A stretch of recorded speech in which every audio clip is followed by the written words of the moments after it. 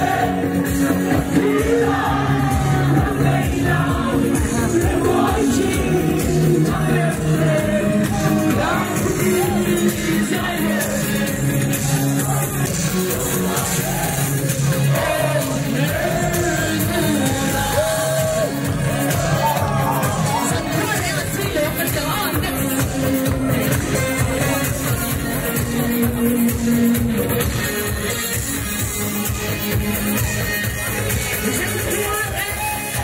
Say love, the camera, don't be love.